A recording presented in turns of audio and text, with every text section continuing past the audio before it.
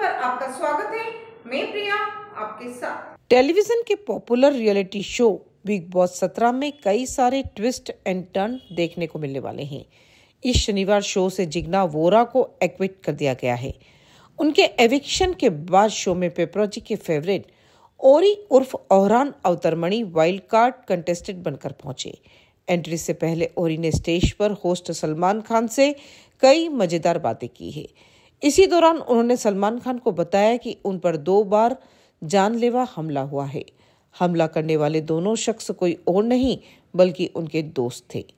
शनिवार को टेलीकास्ट हुए बिग बॉस सत्रह के एपिसोड में ओरी को बतौर वाइल्ड कार्ड कंटेस्टेंट इंट्रोड्यूस करवाया गया है। स्टेज पर ओरी से बातचीत के दौरान सलमान खान ने बताया कि ओरी पर दो बार जानलेवा हमला हुआ है। इसके बाद सलमान ने ओरी से कहा कि वो इस बारे में दर्शकों को बताए। इस पर ओरी ने टूटी फूटी हिंदी में हमलों की जानकारी देते हुए कहा, एक बार हेलोविन पर मेरे दोस्त ने मुझे सीट से धक्का मारा था।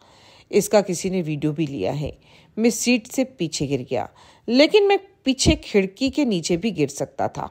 ओरी ने बताया कि खिड़की उनके एक हाथ की दूरी पर थी और वो उसे नीचे गिर सकते थे, हालाँकि वो बच गए। ओरी ने आगे कहा मैंने सबसे पहले अपना फ़ोन दिया, क्योंकि उसमें सबूत थे। दूसरे हादसे में उन्होंने बताया कि एक दिन हम रूफटॉप पर पार्टी कर रहे थे। वहाँ पुल भी था। मेरा एक खास दोस्त था, जो मुझे लगता था कि खास होगा, लेकिन वो नहीं था। उसने मुझे एक शॉट पिलाया, फिर दूसरा, मैं अंधा हूँ, मैं देख नहीं सकता। मेरा power minus eight point five है। उसने मुझे दस शॉट पिलाए और वहाँ अकेला छोड़ दिया। मैं रूफ टॉप से नीचे गिर सकता था। मैं पुल से गिर सकता था। मुझे याद भी नहीं कि मैं कैसे घर आया।